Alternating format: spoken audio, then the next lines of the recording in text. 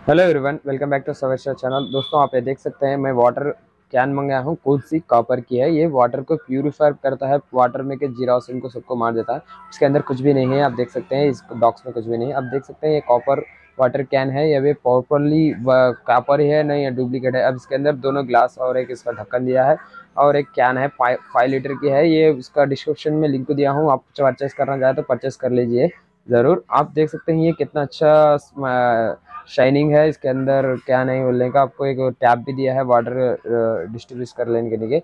उसके अंदर एक मैनुअल दिया है, ये कॉपर का वाटर बॉटल के बारे में। आप ये देख सकते हैं आई ब्रांड भी है इसको। नाइन थाउज़ेंड वन वल के रैंकिंग भी दिया है इसको। और एक इसके साथ एक क्लीनर दिया है ये ड्राइंग क्लीनर है इसका। ये कॉपर शाइनिंग आने के लिए है ये। आप देख सकते हैं इसके ऊपर बर्तन क्लीन करने के लिए। अब ये पैकेट दस रुपये में है, मात्र दस रुपये में। अब ये देख सकते हैं। इसके बाद इसके अंदर कुछ भी नहीं दिया है। अभी इसके साथ और एक दो तीन ग्लासेस दिया है। अभी ओरिजिनल कापर है नहीं बोलने का। आपको चेकिंग करके बताता हूँ। आप उसी तरह चेक कर ले सकते हैं। ओरिजिनल कापर है तो रख ले सकते हैं, नहीं तो रिटर्न कर सकते हैं। फ़र्स्ट ऑफ़ ऑल चेक करने के लिए क्या है? अब ये मैगनेट लेके मैगनेट के आप उसको लगाने दे रही आयरन से बना रहा तो ऊपर नॉर्मल से कॉपर कोटिंग चढ़े रहे तो आयरन चिपक जाता है। आयरन को मैग्नेट अब ये चिपकता नहीं है, छोड़ डालता है।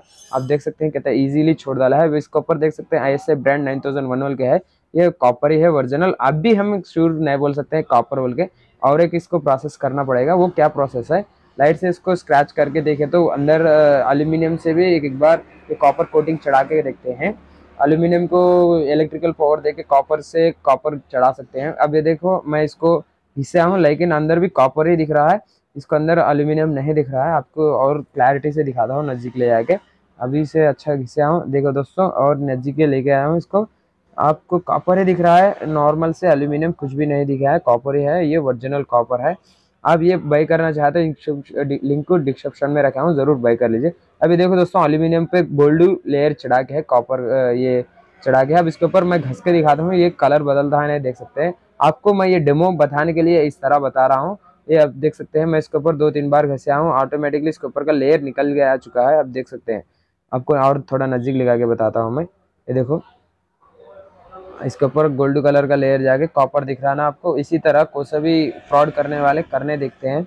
ये तो ओरिजिनल कॉपर है। इसके बाद इसको आप और तरह से चेक कर सकते हैं। फ़िलहाल ये दोनों ही काफ़ी है चेक करने के लिए। इसको हीटिंग करके भी चेक कर सकते हैं। हीटिंग करने पे ये लाल होता है और इसका कलर चेंज होता है। नॉर्मल से ये डुप्लीकेट है। तो अब इसके साथ ये दो आइटम्स दिया है।